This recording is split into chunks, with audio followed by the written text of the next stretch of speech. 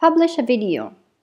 To publish a video, click on the top left corner key, which opens the App Store, the Objects toolbar that you can add to your site. Look for the Multimedia category.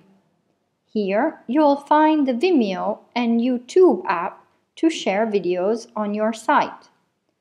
Drag the YouTube app to your work area. Click it and keep it pressed down to move it. Click on the lower right corner and keep it pressed down to enlarge or shrink it. Now, copy the video's address from your YouTube channel and return to your work area. Select the video app with a click, go to the top bar, click on the link icon. Paste the video's address here by using the right mouse key. The video is now viewable by your visitors.